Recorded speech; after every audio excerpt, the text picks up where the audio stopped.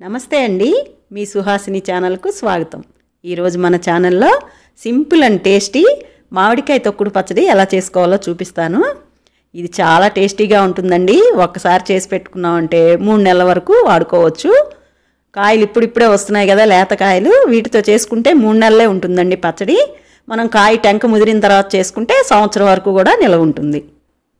నేను ఈరోజు ఈ పచ్చడి రోట్లో చేసి చూపిస్తున్నానండి. తయారీ విధానం చూద్దాం. నేను ఇవాళ మూడు మామిడికాయలతో చేస్తున్నానండి.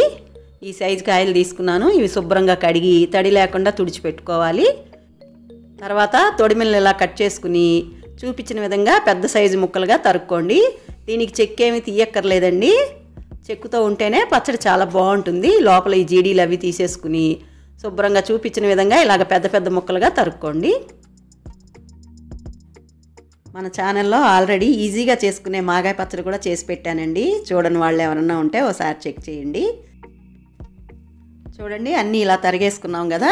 ఈ పెద్ద ముక్కలుగా ఎందుకు తరుక్కోవాలంటే రోట్లో దంచుకుంటాం కదండి. చిన్న ముక్కలు అయితే చింది బయట పడుతుంటాయి అందుకని.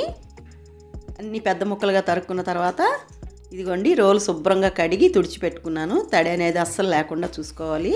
అలాగే మనం దంచుకునే బండ కూడా పొడిగా ఉండాలి.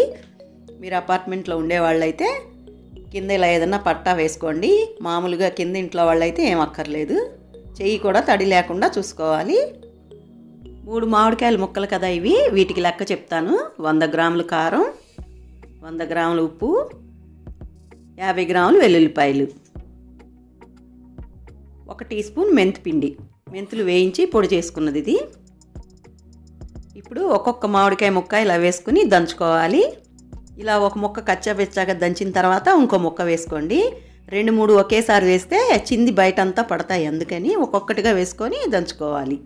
చూడండి ఇలా ఒకటి నలిగిన తర్వాత ఇంకొకటి. ఈ రోట్లో దంచుకోవడం కష్టంగా అనిపించిన పాతకాలంలో ఇలాగే రోట్లో దంచి చేసుకునేవాళ్ళండి. అందుకనే పచ్చళ్ళు అంత టేస్టీగా ఉండేవి. చూడండి మీకు ఒకసారి రెండు వేసి చూపిస్తాను. దంచుతుంటేనే చింది బయట అంతా పడిపోతాయండి. ఒక్కొక్క ముక్క వేసుకుని పెద్ద సైజులో అందుకే కోసుకోమన్నాను. ఒక్కొక్క ముక్క వేసుకుని దంచుకుంటే మొత్తం చక్కగా మెదుగుతాయి. మరి మెత్తగా అక్కర్లేదండి కచ్చాబెచ్చాగా దంచుకుంటే చాలు. ఇలా దంచుకున్న తర్వాత పక్కకు తీసుకోండి. మిగతా ముక్కలన్నీ కూడా ఇలాగే దంచుకోవాలి. మీకు రోట్లో దంచుకోవడం కష్టంగా ఉందనిపిస్తే గనక మీరు ఈ మామిడికాయ ముక్కల్ని చిన్న సైజులో తరుక్కుని మిక్సీలో ఒక తిప్పు తిప్పండి. ఎక్కువగా కాకుండా పల్స్లో పెట్టి ఒక్క తిప్పు తిప్పితే సరిపోతుంది.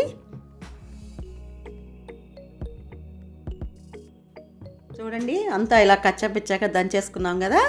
ఇప్పుడు ఇది పక్కకు పెట్టుకొని రోట్లోకి కొద్దిగా వెల్లుల్లిపాయలు మన యాభై గ్రాములు తీసుకున్నాం కదా సగం వేసుకోండి. అలాగే కొద్దిగా ఉప్పు ఇవి రెండు ముందు దంచుకోండి. కళ్ళు ఉప్పు వేస్తున్నాం కదా మనం మెత్తగా నలగదు మామిడికాయ ముక్కల్లో కలిపితే. తర్వాత కొద్దిగా మెంతిపిండి కూడా వేసుకొని ఈ ఉప్పుని మెత్తగా దంచుకోవాలి. ఉప్పు ఇలా మెత్తగా అయిన తర్వాత మామిడికాయ తొక్కు ఉంది కదా అది కొద్దిగా వేసుకుని కారం కూడా వేసుకుని ఒకసారి దంచుకోవాలి మళ్ళీ. ఇలా కొద్ది కొద్దిగా వేసి దంచుకోవడం వల్ల అన్నీ బాగా కలుస్తాయండి. ఒకేసారి వేసామంటే కలవ్వు మొత్తం పచ్చడంతా కింద పడిపోతుంది కదా. అందుకే అన్నీ కొద్ది కొద్దిగా వేసుకుని మొత్తం ఇలాగే దంచుకోవాలి.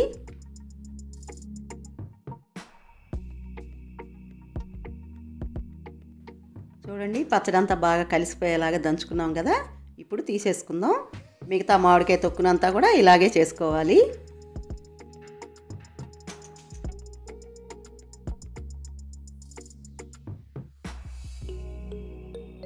ఇలా మొత్తం దంచేసుకున్న తర్వాత చేత్తో ఒకసారి పైకి కిందకి బాగా కలుపుకోండి. అన్ని వేపులా బాగా కలిసేలాగా కలుపుకుని ఇప్పుడు పోపు పెట్టుకుందాం.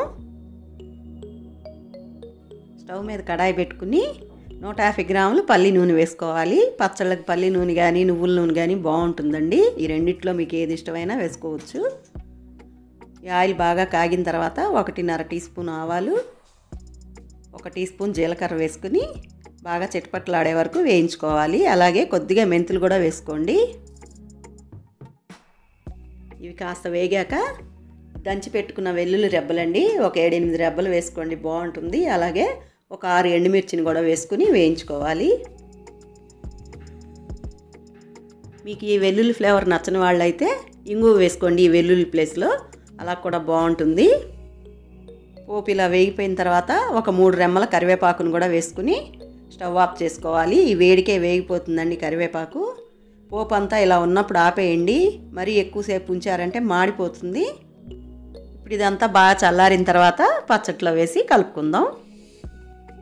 మీకు ఇష్టమైతే పప్పులు కూడా వేసుకోవచ్చండి. ఈ పచ్చడి ఒకేసారి పోపు పెడుతున్నాను కదా అందుకే నేను పప్పులు అవి వేయను మెత్తగా అయిపోతాయని. మనం అప్పటికప్పుడు పోపు పెట్టుకునే పచ్చళ్ళకైతే పప్పులు వేసుకుంటే బాగుంటుంది. ఇలా అంతా బాగా కలుపుకున్న తర్వాత ఒక గాజు సీసాలో కానీ ఎయిర్ టైట్ కంటైనర్లో కానీ పెట్టుకుంటే మూడు నెలల పాటు వాడుకోవచ్చండి. ఇది అన్నంలోకే కాదు ఇడ్లీ దోశల్లో కూడా సూపర్గా ఉంటుంది.